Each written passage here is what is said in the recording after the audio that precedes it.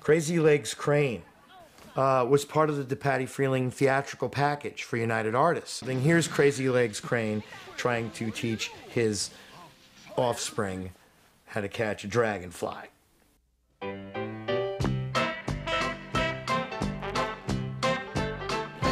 I'm uh, I'm here with you. We're gonna get through this. Crazy Legs Crane.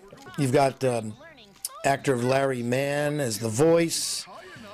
You've got um, you've got the uh, um, you got that dragonfly, which uh, you know even I want to kill that character. Uh, even United Artists didn't want to distribute them. Uh, UA did release these theatrically in Europe, and um, the less said about our relationship with Europe after they released these cartoons, the better. I mean, they didn't even have to redraw or create the design of this character to start this series. The character already existed.